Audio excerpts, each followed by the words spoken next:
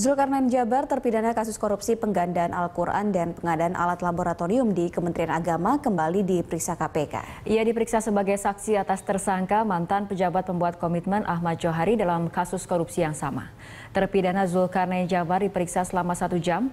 Menurut Zulkarnain, penyidik KPK tidak terlalu banyak menanyakan informasi kepada dirinya, mengingat ia dalam keadaan tidak sehat dan pemeriksaan terpaksa ditunda.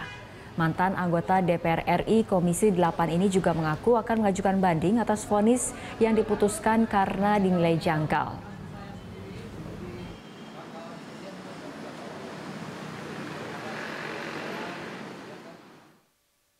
Jadi yang yang berhubungan dengan kesaksian saya hari ini adalah mengangkut masalah Pak Ahmad Jawari.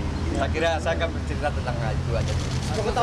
Dan sekarang yang berkaitan dengan kasus saya sendiri seperti kawan-kawan media semua kan sudah tahu. Saya banding, ya kan? Ya, melakukan upaya banding ke pengadilan tinggi. Bagaimanapun bagi saya ada sesuatu yang janggal yang lebih bernada emosional, ya kan?